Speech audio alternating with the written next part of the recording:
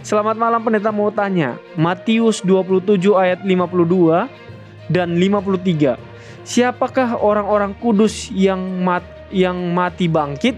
Saya bacakan pendeta Matius 27 Matius 27 ayat 52 dan 53. ayat 52 dan 53.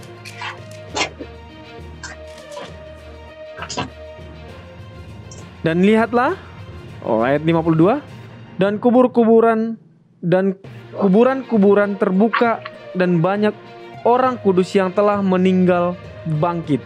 Dan sesudah kebangkitan Yesus mereka pun keluar dari kubur lalu masuk ke kota kudus dan menampakkan diri kepada banyak orang. Silakan pendeta. Baik, terima kasih untuk pertanyaan ini. Siapakah orang-orang kudus ini? Istilah orang kudus ini uh, digunakan di dalam perjanjian baru untuk menggambarkan pengikut Yesus atau menggambarkan orang-orang yang takut kepada Tuhan, takut akan Allah. Contohnya, waktu Rasul Paulus bersaksi tentang apa yang ia lakukan pada waktu ia belum bertobat dalam kisah pasal yang ke-26 ayat yang ke-10 dikatakan Aku bukan saja telah memasukkan banyak orang kudus ke dalam penjara setelah aku memperoleh kuasa dari imam-imam kepala tetapi aku juga setuju jika mereka dihukum mati. Jadi orang-orang kudus di sini adalah orang-orang yang takut akan Allah, orang-orang yang percaya kepada Yesus Kristus. Jadi orang-orang yang kudus yang bangkit ini adalah orang-orang yang percaya jadi yang bangkit ini bukan orang-orang jahat, yang bangkit ini bukan orang-orang yang melawan Tuhan. Yang bangkit ini bukan orang-orang yang tidak percaya kepada Allah, tapi orang-orang yang taat kepada Allah, orang-orang yang percaya kepada Tuhan.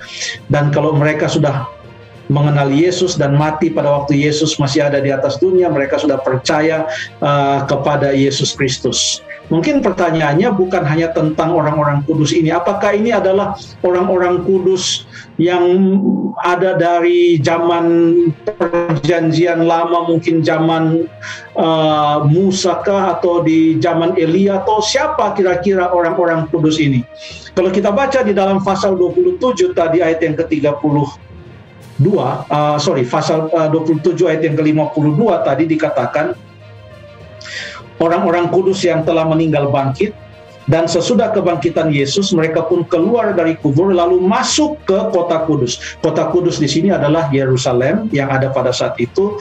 Mereka masuk ke dalam kota kudus dan menampakkan diri kepada orang banyak setelah mereka bangkit menjadi saksi-saksi betapa hebatnya kuasa Allah. Kenapa dikatakan mereka masuk ke dalam kota kudus? Coba kita baca petunjuk di dalam pasal yang ke-27 ayat yang ke-32. Ketika mereka berjalan keluar kota, mereka berjumpa dengan seorang dari Kirene yang bernama Simon. Orang itu mereka paksa untuk memikul salib Yesus. Perhatikan di sana dikatakan mereka berjalan keluar kota, berarti Tuhan Yesus disalibkan di luar kota. Ya. Lalu kemudian ia dikuburkan juga masih di luar kota. Jadi ini menggambarkan bahwa orang-orang ini adalah mereka yang ada di luar kota Yerusalem. Contohnya uh, ada peristiwa orang yang meninggal tapi sudah dibangkit uh, bangkitkan terlebih dahulu. Juga di luar kota yaitu di Betani dan Betani itu tidak terlalu jauh dari Yerusalem. Itu pun di luar kota. Jadi artinya orang-orang yang percaya kepada Tuhan, orang-orang yang percaya kepada Allah dan meninggal dunia dan mereka meninggal di sekitar kota Yerusalem sehingga waktu mereka bangkit dikatakan mereka masuk ke dalam uh, masuk ke dalam kota uh, Yerusalem itu. Jadi ini bukanlah orang yang meninggal jauh-jauh dari Yerusalem atau meninggal ada di Roma atau ada di Asia Kecil atau di tempat-tempat yang lain, tetapi orang-orang yang berada di sekitar Yerusalem. Paling tidak ini pendapat berdasarkan sedikit petunjuk dari ayat-ayat yang telah kita baca. Tapi yang paling penting, yang dibangkitkan bukan orang-orang yang jahat. yang dibangkitkan adalah orang-orang yang takut akan Tuhan. Ini adalah merupakan gambaran juga terhadap apa yang akan terjadi nanti pada waktu kedatangan Tuhan Yesus yang kedua kali.